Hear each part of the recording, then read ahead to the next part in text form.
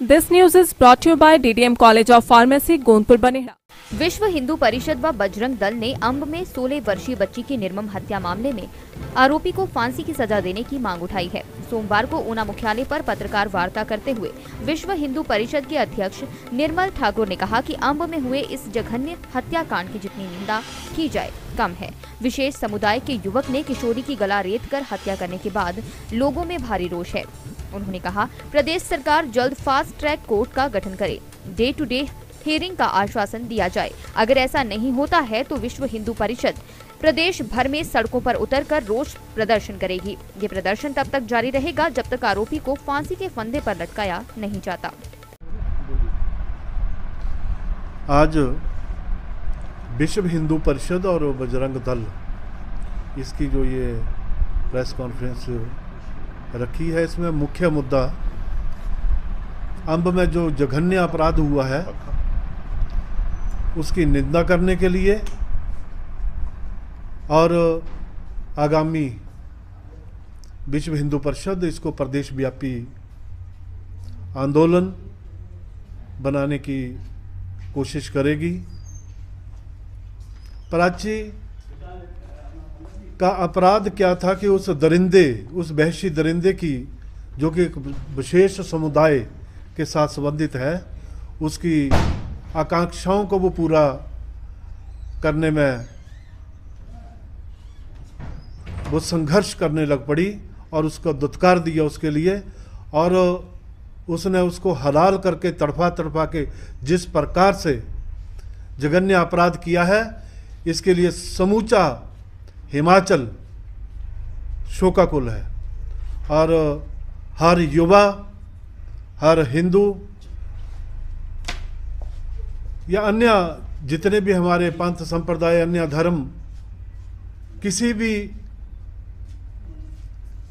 व्यक्ति का खून खोल उठता है इस प्रकार के जघन्य अपराध को देखते हुए, जिस प्रकार से उसको हलाल करके तड़फा तड़फा के मारा गया। हम सरकार और प्रशासन से मांग करते हैं, विश्व हिंदू परिषद के फास्ट ट्रैक कोर्ट का तुरंत गठन किया जाए। सरकार और प्रशासन दोनों से ही ये स्ट्रोंग अपील है। विश्व हिंदू परिषद की इस बात को नज़रअंदाज करने की जिस प्रकार से सरकार और प्रशासन कोशिश कर रहा है, हिंदू समाज ने या बाकी सारा समाज जो उठा है, उन्होंने पिछले दिनों जिस प्रकार से हर गली चौराहे में आवाज़ बुलंद की है, विश्व हिंदू परिषद उसकी आवाज़ को बुलंद करने के लिए तीव्र गति देने के लिए तैयार है। अगर फास्ट ट्रैक कोर्ट का गठन नहीं होता है नंबर एक, नंबर दो, डे टू डे हियरिंग, ये भी हमें साथ आश्वासन चाहिए। अगर ये नहीं होता है तो विश्व हिंदू परिषद आगामी एक हफ़्ते के अंदर अंदर पूरे प्रदेश में सड़कों पर उतर आएगी और पूरे प्रदेश में आंदोलन होगा, जब तक हमारी ये मांग पूरी नहीं होती और जब तक उसको फांसी के फंदे पर नहीं लटकाया जाता। धन्यवाद। दिव्य हिमाचल टीवी के लिए ऊना से मुनिंदर अरोड़ा के साथ सुधीर चौधरी की रिपोर्ट।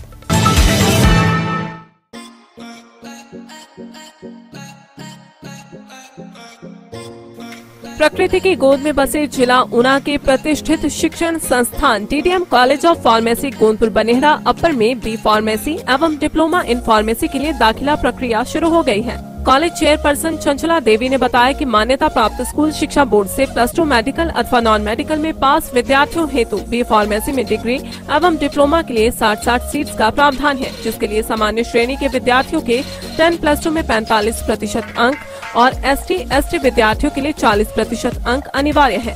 उन्होंने बताया कि 2009 में स्थापित DDM college of pharmacy Himachal Pradesh तकनीकी विश्वविद्यालय एवं पीसीआई से अप्रूव्ड है।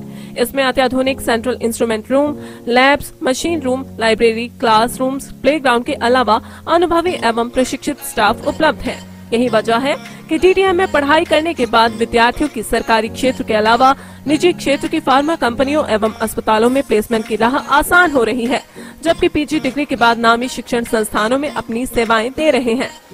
इसके अलावा डीडीएम स्कूल में नर्सरी से लेकर टेन प्लस टू तक दाखिला प्रक्रिया भी जारी है। ज़्यादा जानकारी हेतु तो एडमिशन हेल्पलाइन नंबर पर संपर्क करें।